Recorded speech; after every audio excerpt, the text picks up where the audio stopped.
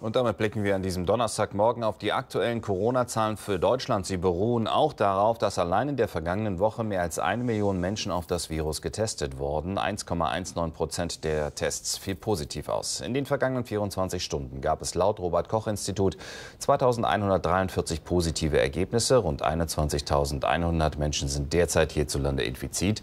Die Zahl der Toten ist um 19 auf 9.409 angestiegen und der Reproduktionsfaktor liegt bei 0, 0,79.